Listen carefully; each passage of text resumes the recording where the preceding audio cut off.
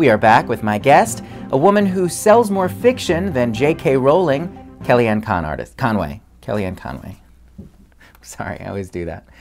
Um, Kellyanne, we are weeks into Trump's presidency, and already he is firing everyone who doesn't agree with him. Now, didn't these people take an oath to defend the Constitution and not pander to the whim of an arrogant, demagogic man baby whose only true loyalty is to himself? I'm asking for a friend. Every president has a right, really has the right to surround himself with a team that's going to work with him. He is calling for extreme vetting from seven countries that President Obama first identified. I bet there was very little coverage. I bet I bet it's brand new information to people that President Obama had a six-month ban on the Iraqi refugee program after two Iraqis came here, were radicalized, and they were the master masterminds behind the Bowling Green massacre. Well, I think that's new information because, you know, it never fucking happened. You can't just look look at what's happened. This man ran on a stronger and safer United States of America and, more important, just as important. Fact checker, fact checker, find me some facts.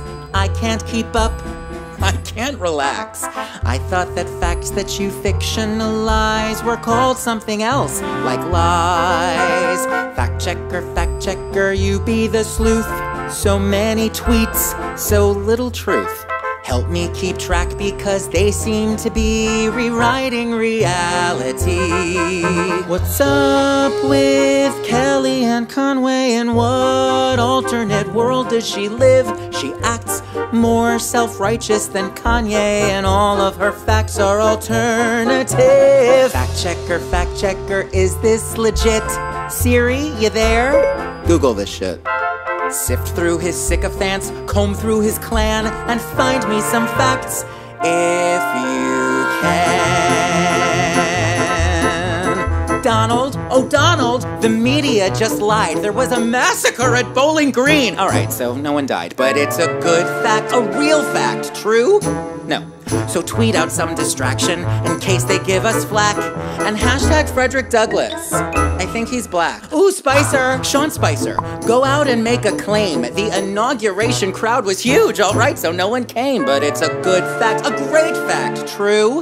No. Deny the ban on Muslims and say it's their mistake, and when they say you're lying, just call them fake. In fact, actually, the Obama administration identified Obama administration. What? Fact checker, fact checker, even just one actual fact. That might be fun. Help counteract the inaccuracy and find just one fact for me. Obama, come get back in your bubble. I know you're on vacay with Michelle. It's not that the country's in trouble. You know, we're okay. It's just we're in hell. Fact checker, fact checker, I'm so alone. Where is the truth? I've come to know I'm about to move in with Justin Trudeau. So bulldozer bull, trudge through his tweets, dig through his wigs, audit his tax, and find me some facts. Our hearts go out to the victims of Bowling Green.